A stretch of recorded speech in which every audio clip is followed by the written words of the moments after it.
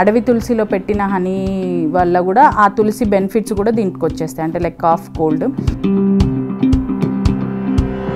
Pollen వచ్చేసరికి అది అన్ని ఫ్లవర్స్ నుంచి ఆ పుప్పొడి అనమాట కలెక్ట్ చేసుకొని వచ్చి లోపల పెడుతుంది. సో ఆ పోలెన్ వల్ల బ్యాడ్ కొలెస్ట్రాల్ ఉన్న వాళ్ళకి హై బ్లడ్ ప్రెషర్ ఉన్న వాళ్ళకి